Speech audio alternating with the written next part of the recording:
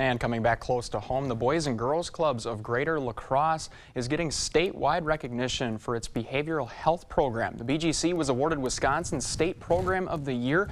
Leaders at the organization noticed a significant number of students struggling with behavioral problems. La Crosse BGC partnered with Mayo Clinic Health System and Courtesy Corporation to create the program. Many children have a mental health battle and organizers wanted to provide a foundation to build solid relationships.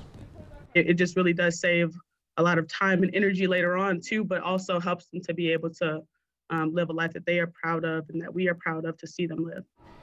The program started about five years ago.